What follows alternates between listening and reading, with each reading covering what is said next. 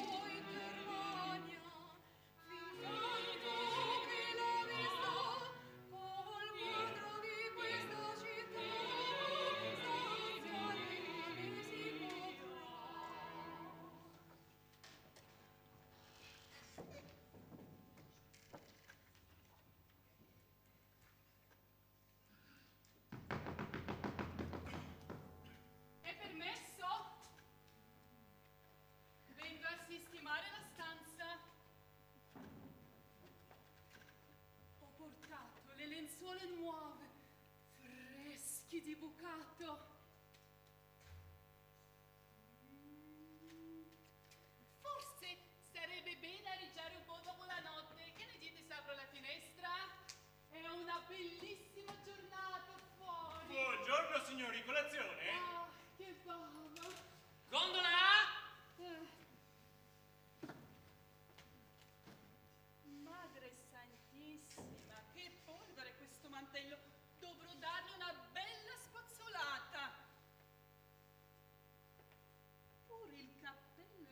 è sporchissimo.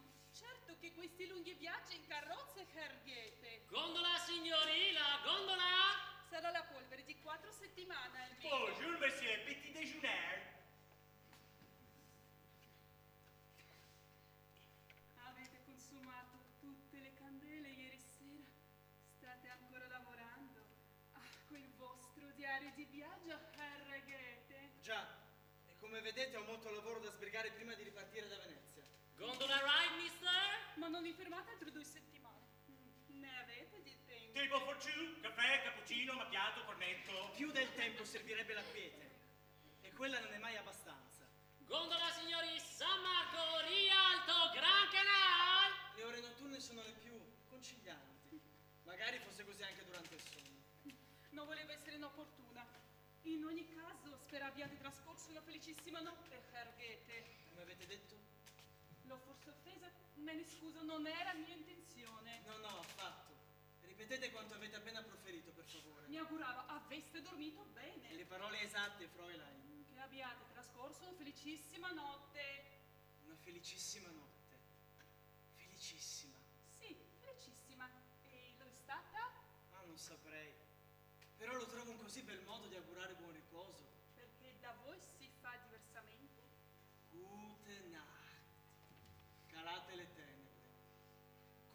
Settentrione ci salutiamo in qualunque momento. Voi italiani invece dite felicissima notte. Ma una volta soltanto. Precisamente quando viene portato il lume in camera e dunque nell'attimo in cui il giorno si separa dalla notte. È allora che termina il lavoro. Il viandante rientra, il padre desidera rivedere la figlia a casa. Il giorno giunge a conclusione, che cosa sia davvero il giorno, noi cimmeri lo comprendiamo a stento. Nella nebbia e nel grigiore eterni, il giorno e la notte ci paiono indistinti. Qui da voi, non appena inizia la notte, la giornata trascorsa è decisamente conclusa. E con la lucerna accesa, entra in camera la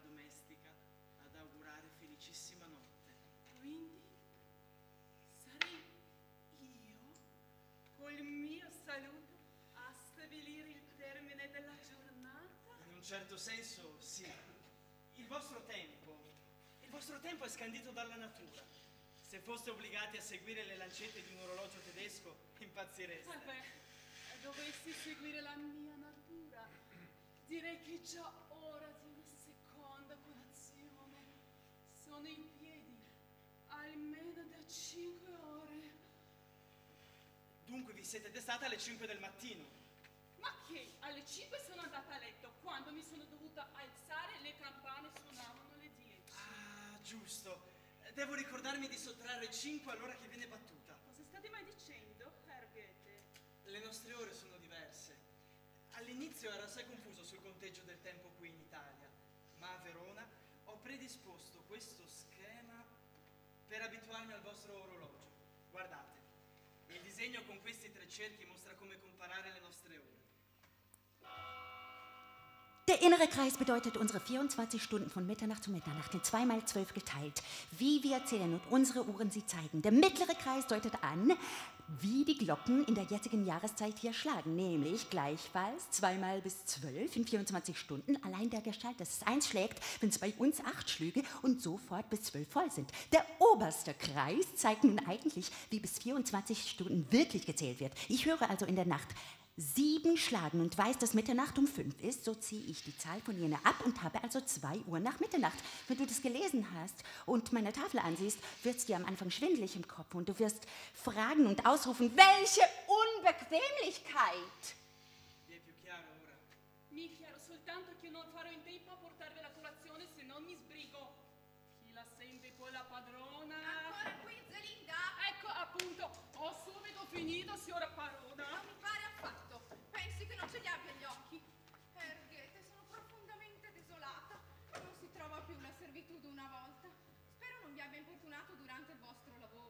Contrario, Frau Doralice. Chiedo venia se io stesso ho intrattenuto Zelinda con le mie chiacchiere. Siete un galantuomo a farvi carico dei difetti altrui. Zelinda, di grazia, per quale motivo i bagagli del signor Goethe non sono ancora disfatti? Ti pago forse troppo poco? È poco, non direi. Giusto, giusto. Quanto basta per non morire di fame. E ingrata! Io mi cavo il sangue per tutti voi qui dentro. È così che voi ripagate la mia generosità?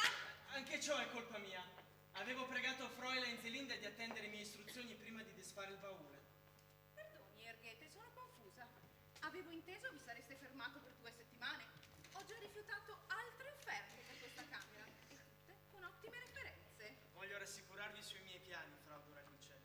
Non ho forse saldato il conto già al mio arrivo. Volete dire che avete versato la caparra al vostro arrivo? Per coprire le due settimane di Per permanenza. riservare le due settimane di permanenza, intendete dire? Non stiamo dicendo la stessa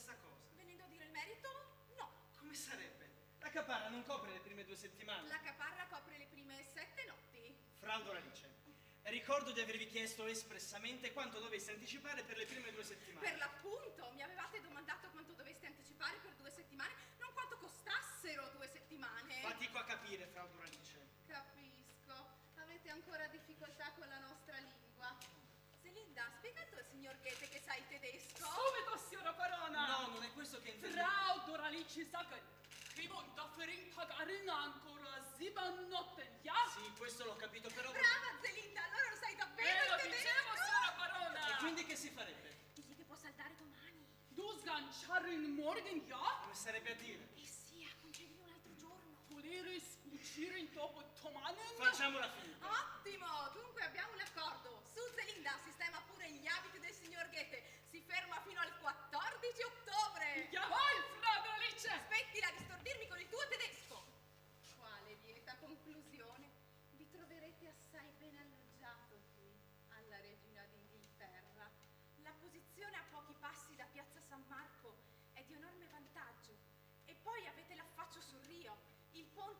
sotto alle vostre finestre e di fronte la calletta animata. Buongiorno signori, tavolo per quattro, l'ho preparato per voi. E sia. Fräulein, sistemate lì in quell'angolo le vetrinette con le pietre. Devo allestirvi il mio laboratorio da viaggio. Frau Doralice, mi sia almeno concesso di protestare per le dimensioni del cubicolo. Mi paiono alquanto contenute. In mia difesa posso richiamare l'attenzione al cartello appeso all'ingresso del palazzo. Dichiara inconfondibilmente. La regina d'Inghilterra, soggiorni di lusso. Soggiorni per l'appunto non camere da letto. E non dubitate che per Venezia di vero lusso si tratti. In città trovereste pure chi vi affitta un semplice sottoscala al piano rialzato per una reggia barocca. E questo lo posso confermare. Per non parlare della toilette in camera, un'autentica rarità per chi, come voi, ha appena valicato le Alpi. Questo ve lo concedo, se ripenso ai miei trascorsi in Tirolo. Tuttavia non so immaginare davvero come questo alloggio abbia guadagnato un titolo così altisonante. È molto semplice, Herr Goethe. Io sono la regina d'Inghilterra. La nominò il console Smith in persona. Il console Smith? Caro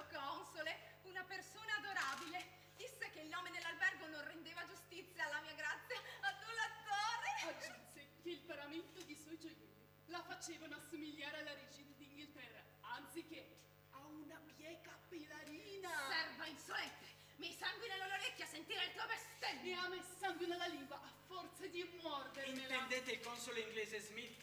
Esatto, Joseph Smith. Vieni qui che ti faccio sanguinare la schiena a suon di frostate. E fate pure, signora Parola, ormai è diventata di cuoio. Smith, il grande collezionista. Certo, lui. Prima padrona delle mie idee. Ah, Smith, il grande collezionista delle opere palladiane. Eh sì, il console Smith. E dove posso andare a trovarlo? Al Camposanto. Ah, non mancherò. Devo ringraziarlo per la sua splendida pubblicazione sulle opere del Palladio. Bisogna ammettere che gli inglesi sanno da tempo apprezzare le cose buone e hanno un'arte grandiosa nel diffonderle. Ti faccio passare io la voglia di Ma sfidarmi! sì, rovesciandomi addosso i bagagli! È impertinente e fastidiosa! Prendi questo! Ah, adesso mi minacciate con un gondolino! No, il condolino no, per favore. Che valore avrà mai? Sembra una cineseria della peggior specie.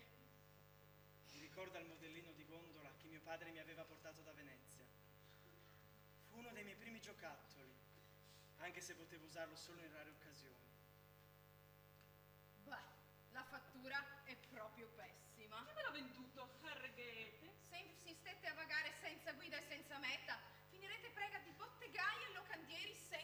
Senza scrupoli. Panini, tre mezzini, cocche e fanta. Perché vi ostinate a girare da solo?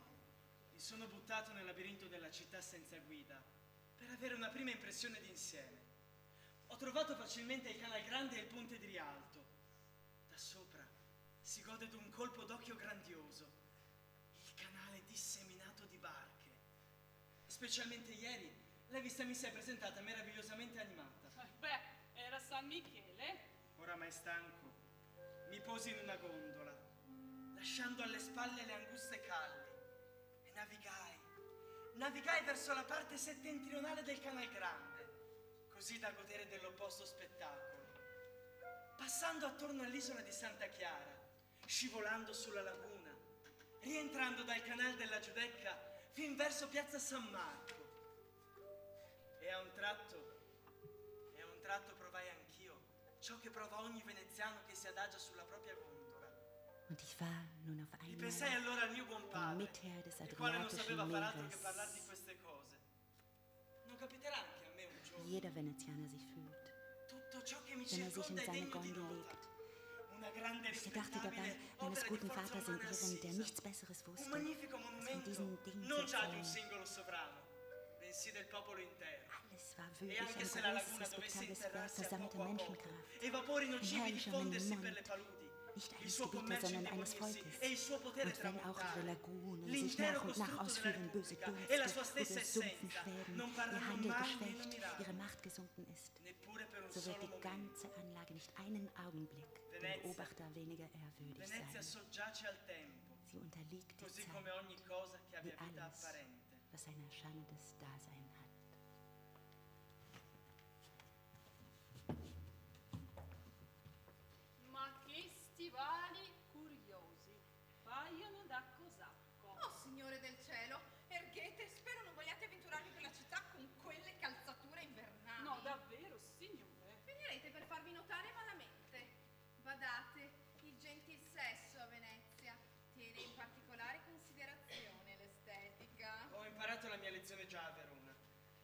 Nonostante la gente sia assorta nei propri traffici, ha buon occhio per tutto ciò che le pare foresto.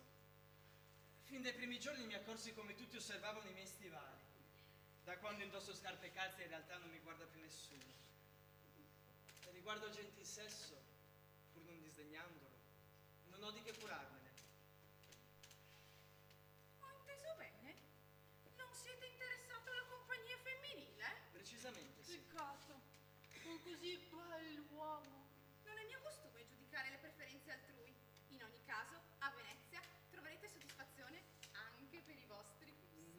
Seguo, forse avete equivocato. Intendevo dire che mi sento già legato ad una donna in Germania. Ah, e per quale motivo, se posso domandare, la signora non vi ha accompagnato in questo viaggio lontano da casa? È forse cagionevole di salute? No, non particolarmente. Semplicemente non è mia moglie. Ah, capisco. Lo è dunque di qualcun altro? In effetti, anche se ciò può sembrarvi immorale, Credetemi, non vi condanno affatto.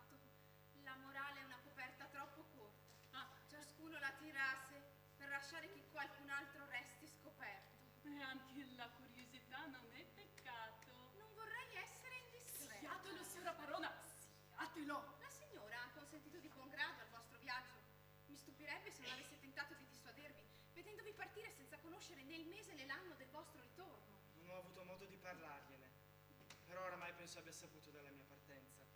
Ieri il signor Gede mi ha dato una missiva da spedire con corriere a una certa Charlotte von Stein. Sospettavo fosse una fuga dovuta a una delusione amorosa. Una letterina non potrà certo bastare a Frau von Stein dopo aver scoperto che la vostra partenza precipitosa era in realtà pianificata Nemmeno un indizio le avete lasciato, poveretta. Certo che sì. Fatto recapitare una edizione del viaggio in Italia redatto da Folkman.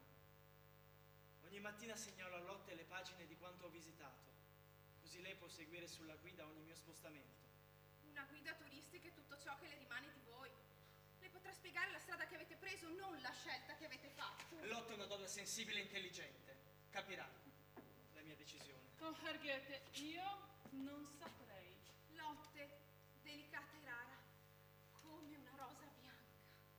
Una rosa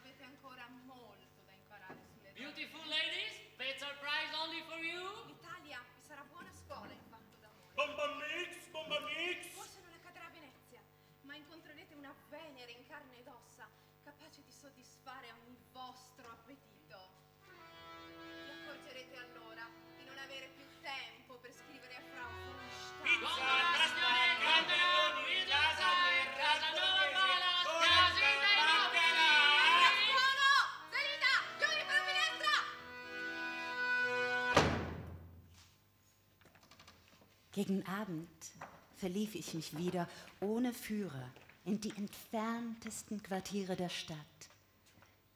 Die hiesigen Brücken sind alle mit Treppen angelegt, damit Gondeln und wohl auch größere Schiffe bequem unter den Bogen hinfahren.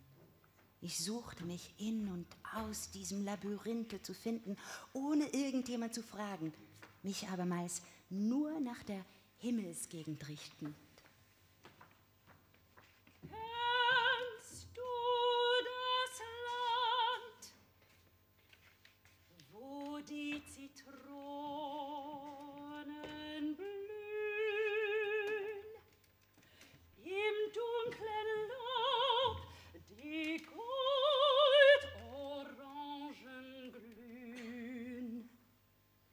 Man entwirrt sich wohl endlich, aber es ist ein unglaubliches Gehege ineinander und meine Manier, sich rechtssinnlich davon zu überzeugen, die beste. Auch habe ich mir bis an die letzte bewohnte Spitze der Einwohner Betragen, Lebensart, Sitte und Wesen gemerkt. In jedem Quartiere sind sie anders beschaffen.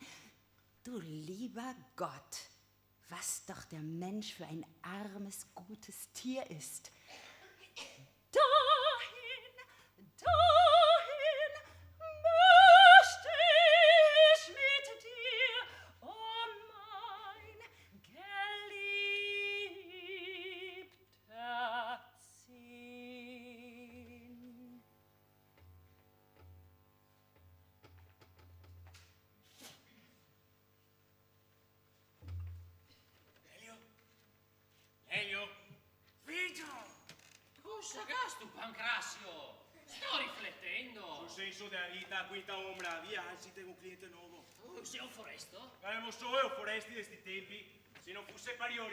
Sarà, basti quattro embriagoni che mi sono rimasti come ti. Lamentite, però facciamo colore. Quasi Lelio. Signor mio, reverendissimo, per servirvi? Guten Tag, buon'uomo. Avreste un tavolo? Certo che sì, signor mio. Mangiate? Eh, sì. Eh, avete la... la carta? Intendiamoci, ai miei inventori servono solo cose buone, mica cartacee. No, non vi seguo. Intendevo... Non avete la Speisekarte? Eh? La carta delle vivande? Ah, quella, la volevate in tedesco in francese? Qualsiasi delle due sarebbe gradita, Eh, grazie. gradirei pure io, peccato non ci sia nessuna delle due lingue. Proverò a cavarmela con quella in italiano. Eh, non ho neanche quella. Mi dite voi cosa avete in menù dunque? Cosa è il menù non saprei. Cosa mi è rimasto in cucina vado a vedere subito. Volete ordinare da bere nell'attesa? Che gentile, grazie. Avreste birra alla spina? Cristo santissimo.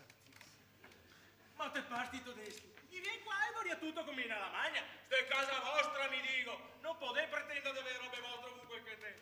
Con tutto il vin che con i botti dovrei far spazio a capabile. Eh? Ti sei proprio un signor notabile. Ah, calma. Scusate, perdonate, perdonate. Che cosa ha detto? Non capisco il veneziano. Eh, ehm, che, che è mortificato. Eh, Purtroppo la birra gliel'ha finita poco fa un, un vostro compagno, uno, uno di Francoforte o su di là. Ah, davvero? Che coincidenza. Anch'io sono di Francoforte. Sul meno? Più o meno, credo. Non saprei, facevo così per dire. No, intendevo Francoforte sul meno o Francoforte sulla Oder. Perché fa differenza? Certo che sì, sono due posti diversi e anche molto distanti fra loro. Ah, come Castello Alto e Castello Basso. Ora comprendo. Non conosco queste due città, ma suppongo sia così. Desolato, non sono pratico di Francoforte. Faccio ancora fatica a distinguere gli accenti. Qua, un goto de viedo, sa, sabor. Magnale, magno! Ho fatto l'alliterazione, Elio. Ti sei un poeta? Sì, esatto. Sono un poeta. Più in generale faccio lo scrittore. Romanzi, poesie, trattati. Come avreste fatto ad intuirlo? No, veramente, io dicevo... Così magari sei un importante. Meglio trattarlo bene, magari scrive anche recensioni dei ristoranti.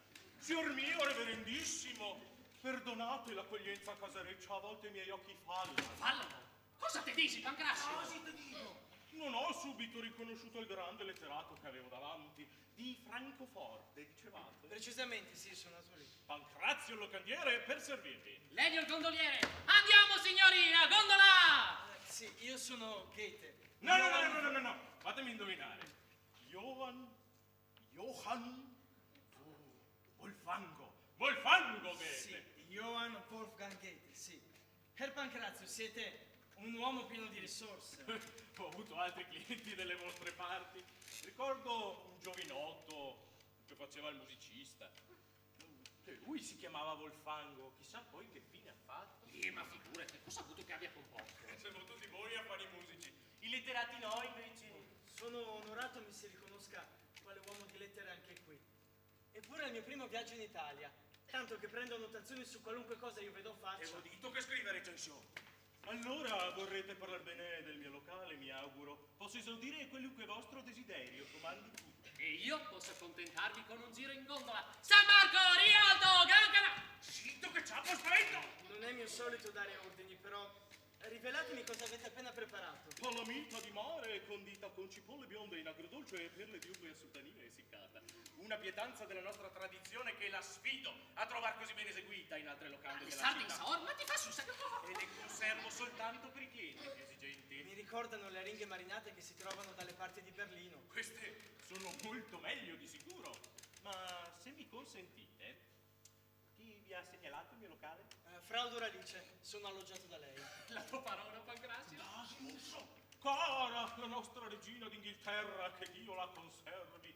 Conto sempre i giorni che mi separano dal nostro prossimo incontro. Beh, altri quattro e arriva per l'affitto. Ma che te l'ho detto? E che altro vi ha segnalato la parona, reverendissimo? Ha moltissime cose. Pare avere un'opinione su tutto. Ah, beh, è proprio lei. In modo particolare insisteva che io visitassi la città assieme ad una guida. Non sono del tutto persuaso, però. Vorrei poter scegliere da solo la meta del mio peregrinare. Non vorrei che mi costringesse a visite che non mi interessano affatto. Se chiedete a me, saprei io cosa consigliarvi. Sentiamo un po', la tua macchinazione è geniale, somaro. Scommetto direi, oh, ma giri in gangala, eh? In verità, volevo suggerire al signor poeta di andare a Palazzo Ducale. E vuoi che non l'abbia già visitato? È la prima cosa che vedono tutti qua. intendevo dire che andasse in tribunale. Ah, questa... Sì, che è una bella pensata. Lelio, per oggi di Camai. Ti sei asino, ma spingio. Scusate, voi mi state consigliando di recarmi in un'aula di giustizia? Proprio questo dico, andate a sentire un processo. Per una volta mi trovo d'accordo con Lelio. Perché posso assicurarvi che una giornata a Palazzo di Giustizia è un vero spasso. Meglio del teatro, molto meglio dell'opera e non si paga neanche il biglietto. Sono incerto, io generalmente non trovo diletto in queste trivialità. Solo a titolo informativo, però, sarebbe in programma oggi? Un omicidio? Una truffa? Più di più, una contesa ereditaria. Ma quale fortuna sono i casi che preferisco! Parenti che s'azzuffano peggio che in battaglia! E non è finita, sotto accusa c'è la dogaressa in persona. La dogaressa? Eh, quella briccona. E chi sarebbe? Suona come nome di un ristorante. Ma che è la moglie del nostro doge. La prima donna della Repubblica, che si fece donare alcune proprietà da uno zio acquisito. Il letto di morte per giunta, ora i parenti veri ne chiedono la restituzione. Oggi non c'era la ringa finale di quell'avvocato padovano. Proprio lui, un vero paladino per il Ne ha fatti castigare di nobiluomini lui. Dunque a Venezia anche i potenti possono finire sotto processo. Credete si possa arrivare ad una condanna? Ma certo che no, la giustizia non è mica una diaventata. Il bilancino come al mercato e vede benissimo cosa c'è sul piatto. A noi basta che la dogaressa sia messa alla gogna. E strepiti pure, che pianga! La nostra imperatrice stilla se stessa in pianti. E leon di San Marco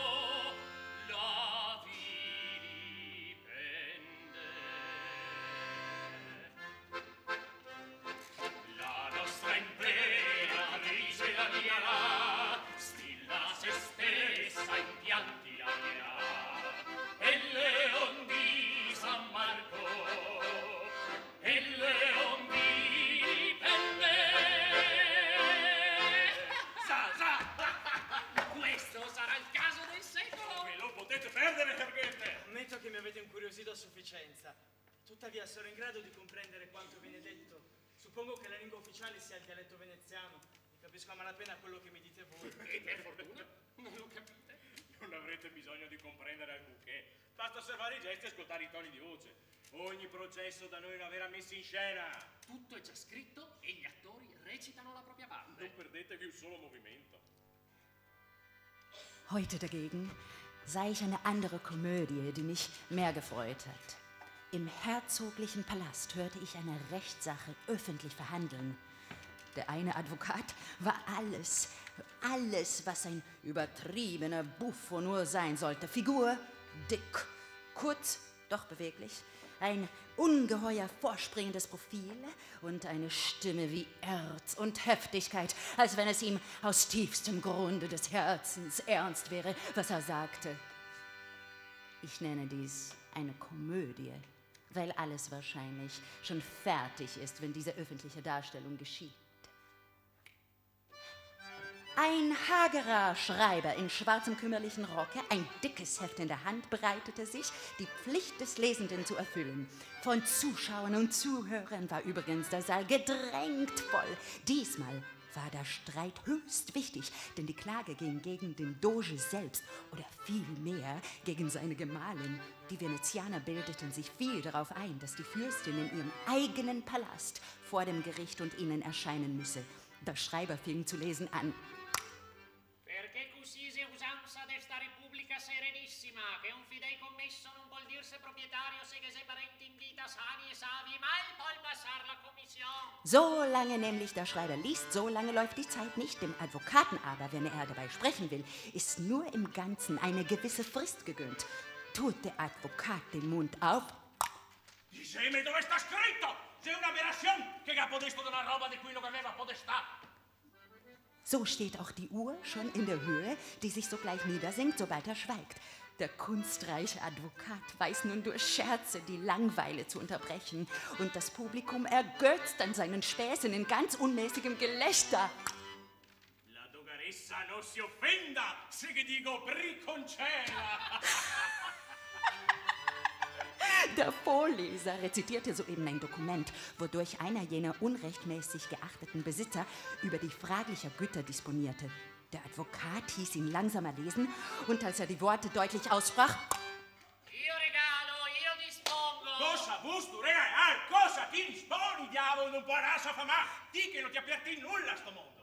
Ma proprio a sto punto ti via di che ti vuoi regalare, ti vuoi disporre, di che non dica niente. Ein unendlich Gelächter schlug auf. Doch sogleich nahm die horizontale Lage wieder ein. Der Vorleser summte fort, machte dem Advokaten ein flämisch Gesicht. Doch das sind alles verabredete Späße.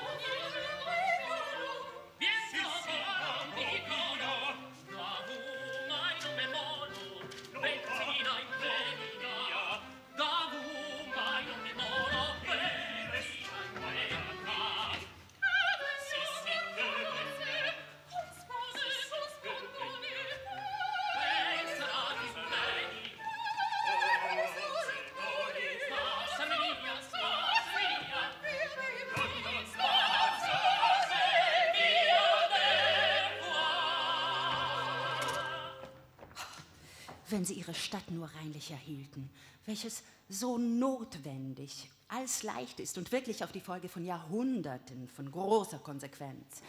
Einem schnell einfallenden Regenguss ist's nicht untersagt, allen den in die Ecken geschobenen Kehricht aufzuführen, in die Kanäle zu schleppen, ja, was noch schlimmer ist, in die Abzüge zu führen, die nur zum Abfluss des Wassers bestimmt sind und sie der Gestalt zu verschlammen, dass die Hauptplätze in Gefahr sind, unter Wasser zu stehen.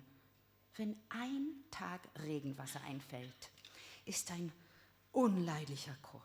Alles flucht und schimpft, man besudelt beim Auf- und Absteigen der Brücke die Mäntel, und da alles in Schuh und Strümpfen läuft, bespritzt man sich und schilt.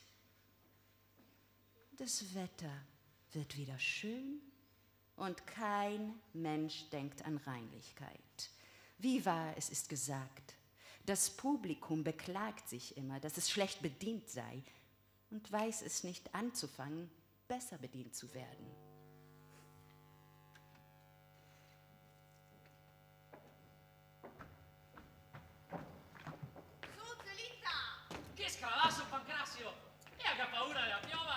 Su panche e mutande. Asciuga anche lì, Zelinda, Oh, forza! che premura, signora Parona! Non è mai morto nessuno per un po' d'acqua sui pavimenti. Se ci scivola sopra qualche cliente, so io chi sarà la prossima a morire. Su, Oh, continua! Madonna, che ansia! Neanche ci dovesse passare il doge. Poveretta ea, come che la fa scopare? Ferma dove vai! Te l'ho detto un milione di volte che il plateatico se lo deve pulire Pancrazio! Signora. Nel pavimento qua davanti vi ci potrete specchiare. Lo credo bene, che non si scambi la mia proprietà per una petolaccia. A voi gli onori e a me i dolori, reverendissima. E a Severtosa, a voi non conviene catar bega su questo? Anche in quell'angolo, Zelinda, Oh, forza! arrivo, datemi prego, signor Parona. Ti vedi di non buttarmi qualche scolasse piuttosto? Cos'è roba mia? E a buttare i foresti? Eh già, sicuramente erano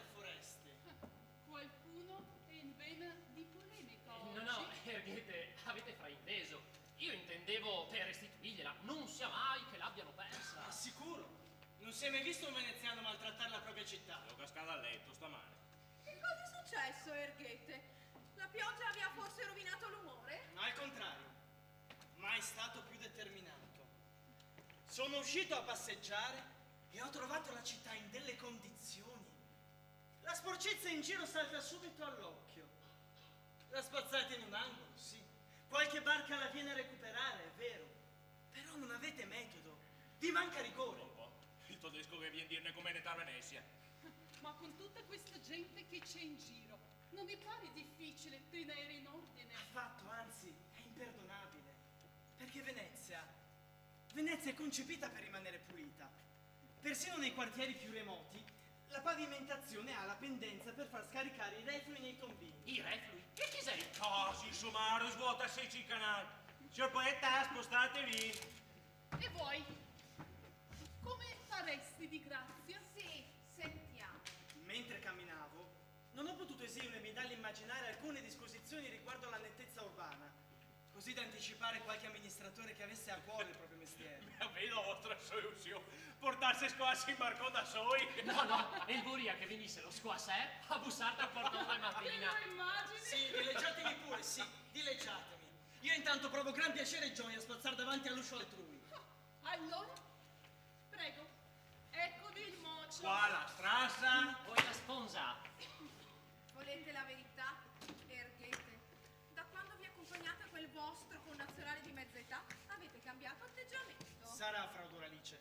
Però mi ha fatto risparmiare più soldi di quanti me ne chieda. Come fate a dirlo? È bastato vederlo contrattare coi gondolieri. Coraggio maledetto quel vecchio crucco. Ti ha fatto sbassare il prezzo, Lelio. Sì, sì, ma anche la parona per la stanza. Poca cosa! Uno sconto a fine soggiorno che avrei concesso. Bella questa. E dove vi porta stasera la vostra guida? Questa sera, questa sera mi sono prenotato per i celebri canti dei barcaioli, che intonano i versi del tasso e dell'ariosto su proprie melodie.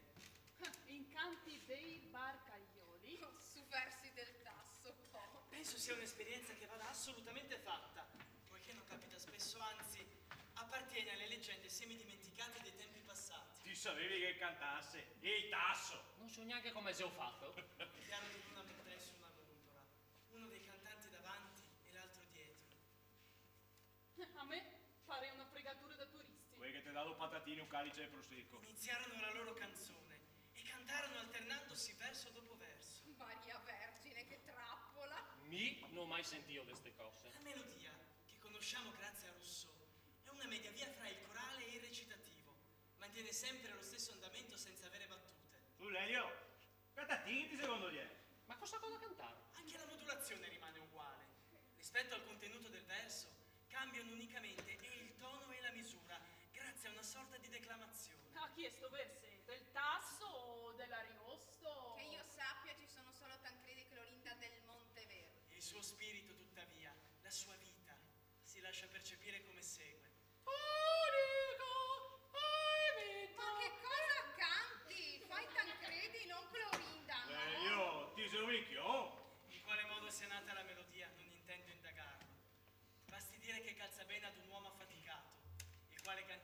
disease.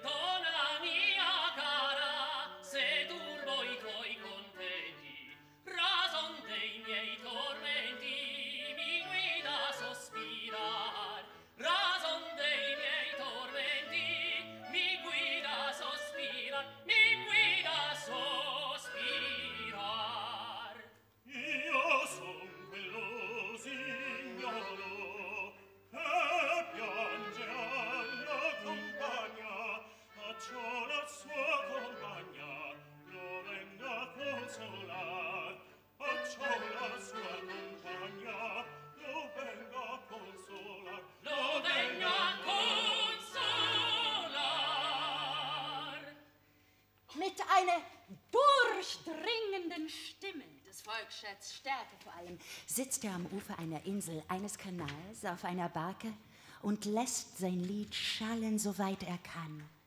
Über den stillen Spiegel verbreitet sich's. In der Ferne vernimmt es ein anderer, der die Melodie kennt, die Worte versteht und mit dem folgenden Verse antwortet. Hierauf erwidert der Erste, und so ist einer immer das Echo des anderen. Je ferner sie also voneinander sind, desto reizender kann das Lied werden. Wenn der Hörer als dann zwischen beiden steht, so ist er am rechten Flecke. Non è toccante tutto ciò. Vorrei che sentiste il canto delle donne del Lido, specie quelle di Malamoco e Pellestrina. Hanno l'abitudine di sedersi sulla riva quando i loro mariti sono in mare a pescare. E di intonare alla sera con voce penetrante questi canti, fin quando sentono dalla distanza quella dei mariti e si intrattengono così con loro.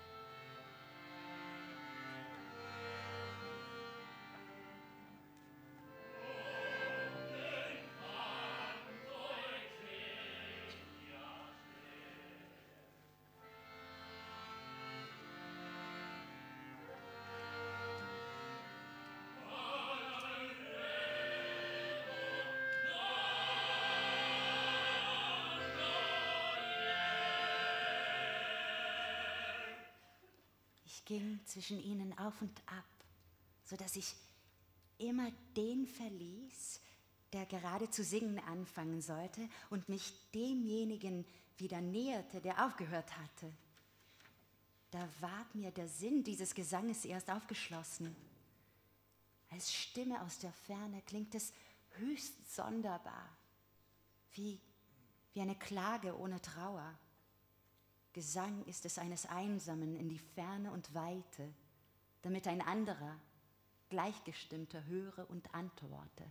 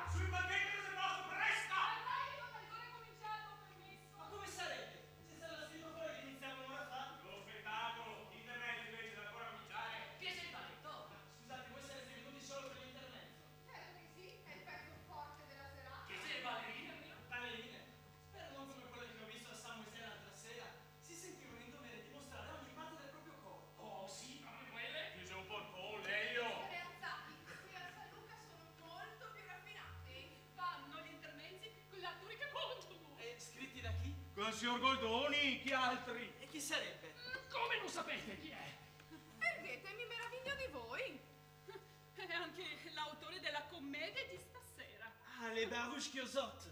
Le che? Le baruffe chiozzotte in francese. Ah, bene, mi piace, mi piace. E di cosa trattano? Riguardano un fattaccio tra abitanti di Chioggia. Urla, strepiti, litigi, le solite cose che accadono. Sono stato giusto ieri in quella zona. Ho ancora negli orecchi e negli occhi le voci e i comportamenti dei commercianti e dei barcaioli. Lo svolgimento qual è? Alcune donne di Chioggia stanno sedute di fronte alle proprie case. Filano, cuciono, rammentano, le solite E cose. passa un giovinotto e ne saluta una più amichevolmente delle altre. E subito cominciano a pungolare, insinuare, a litigare, a offendere, finché devono chiamare l'avvocato. Dunque l'avete già visto tutti? Come no, come no? È sempre un piacere. Sei, sette volte almeno. Per me è la quarta. Ecco l'intermezzo! Finalmente! Anche qui il popolo è nuovamente la base su cui poggia tutto. Gli spettatori partecipano e la massa si fonde in un tutt'uno con il teatro. Durante il giorno, sulle piazze e sulle rive, sulle gondole e a palazzo, il compratore e il venditore, il commerciante, il barcaiuolo, la vicina, l'avvocato e il suo avversario, tutti vivono, agiscono, s'affaccendano, parlano e criticano, gridano e bandiscono, cantano e giocano, urlano e schiamazzano. E poi la sera vanno tutti a teatro e vedono e sentono la vita della giornata appena trascorsa, artificiosamente combinata, sì, assai più graziosa, intersecata da fiabe e allontanata dalle maschere, ma riavvicinata dalle proprie usanze. Tutto ciò li diverte come dei bambini, cantano, gridano, schiamazzano. Dal giorno alla notte, Bravo! addirittura da mezzanotte a mezzanotte, è sempre la stessa storia. Nun endlich kann ich doch auch sagen, dass ich eine Komödie gesehen habe. Aber auch so eine Lust habe ich noch nie erlebt, als das Volk laut werden ließ, sich und die Seinigen so natürlich vorstellen zu sehen. Ein Gelächter und Gejauchze von Anfang bis zu Ende. Ich muss aber auch gestehen, dass die Schauspieler es vortrefflich machten. Sie hatten sich nach Anlage der Charaktere in die verschiedenen Stimmen geteilt, welche unter dem Volke gewöhnlich vorkommen. Die Frauen überhaupt ahmten Stimme, Gebärden und Wesen des Volks aufs anmutigste, anmutigste nach. Diese Masken, die wir fast nur als Mumien kennen, da sie für uns weder Leben noch Bedeutung haben, tun hier gar zu wohl als Geschöpfe dieser Landschaft. Ausgezeichneten Alter, Charaktere und Stände haben sich in wunderlichen Kleidern verkörpert. Großes Lob verdient der Verfasser, der aus nichts an den angenehmsten Zeitvertreib gebildet hat. Madame, Messieurs, je prego, perdonate a moi. Laissez prepondre, sol mi dispiace che madrone non è innocente.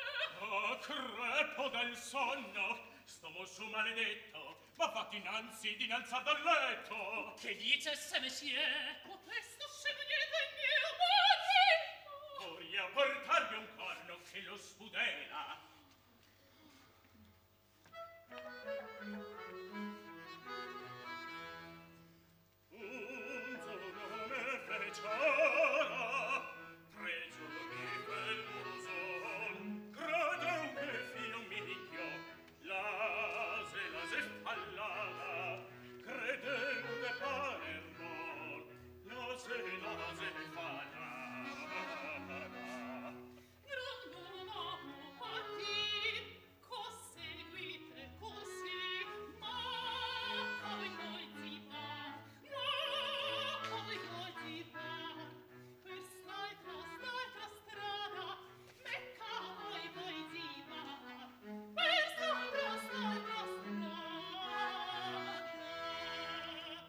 Bravissima, se permettez-moi le vostre belle mains, je baserai. Oh, questo pose troppo, caro signor Petitore.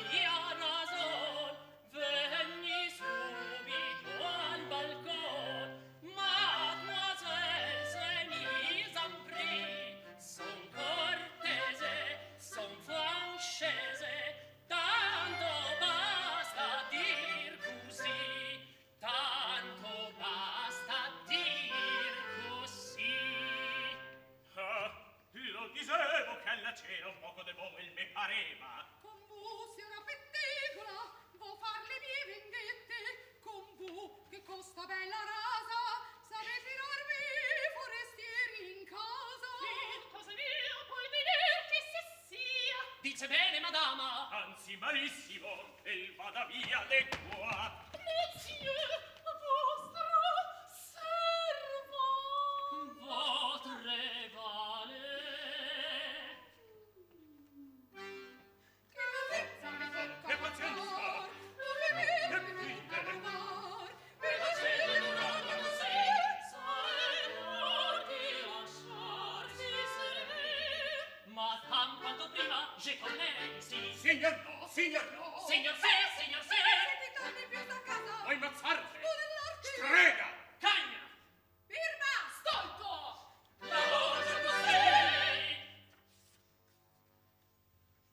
Weil die Einsamkeit in einer so großen Menschenmasse denn doch zuletzt nicht recht möglich sein will, so bin ich mit einem alten Franzosen zusammengekommen, der kein Italienisch kann.